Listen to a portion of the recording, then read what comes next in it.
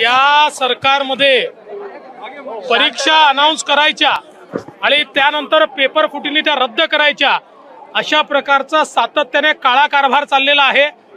एक परीक्षांना धड घेता येत नाही. मागच्याही हेल्थ विभागाच्या तीन तीन वेळा परीक्षा रद्द करून पेपर फुटला आणि त्याची तारं मंत्रालयापर्यंत गेलेली आहेत. त्यामुळे प्रचंड भ्रष्टाचार या परीक्षांमध्ये चाललेला आहे.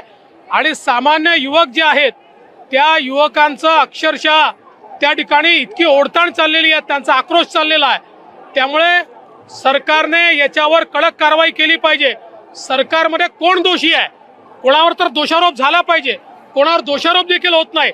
मंत्री नामा निराळे मुख्यमंत्री नामा निराळे हे चालणार नाही. फार मोठा रोष या संदर्भात आहे. याची कडक कारवाई झाली पाहिजे. आणि आमची तर मागणी आहे की या सगळ्या पेपर फुटीची सीबीआय इन्क्वायरी झाली पाहिजे.